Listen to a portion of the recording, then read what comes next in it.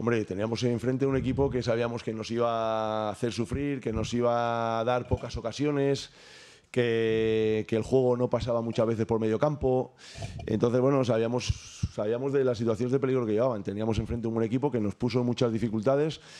Eh, seguramente a lo mejor no tantas en ocasiones, pero sí en sensación, ¿no? De peligro. Entonces, eh, bueno, eh, nos mm, dimos cuenta eh, que el rival era potente, que era poderoso y que nos estaba generando problemas y bueno, a lo mejor igual en algún momento tuvimos pérdidas, demasiadas pérdidas o, demasiado nerviosismo porque queríamos enlazar jugadas, llegar el balón hasta acá, hasta el área contraria, con juego, con, con acciones de juego. Había pérdidas y había contras que nos ponían más nerviosos todavía, ¿no? Entonces, bueno, fue un poco esa situación que se fue dando y había pocas ocasiones. Realidad había pocas acciones por ambas partes, pero sí había sensación de peligro ¿no? cuando se acercaba a nuestro área.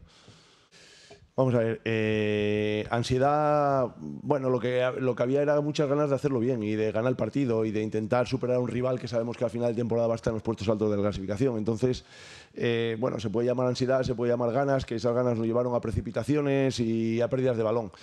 El empate, bueno, es lo que hay. Como leí durante la semana, ningún entrenador firma el empate al principio, pero es lo que se ha dado y lo que tenemos que ser es positivos y bueno, sumamos un punto más. Eh, con este punto, en algún equipo le sacaremos un punto más. Entonces, pues bueno, suma y sigue y, y sobre todo eh, aprender ¿no? de las situaciones que se van dando y sobre todo ser conscientes de, de la dificultad que lleva la categoría y, y saber que enfrente teníamos un equipo poderoso, un equipo que empezó mal, pero que, que ha- se ha juntado bien, presiona bien y no te deja llegar con opciones claras a, a portería contraria y sobre todo es muy raro recuperar el balón en su campo porque el balón pasa rápidamente a tu campo y hay disputas, juego aéreo. Bueno, un partido sabíamos que iba a ser así, que iba a ser difícil.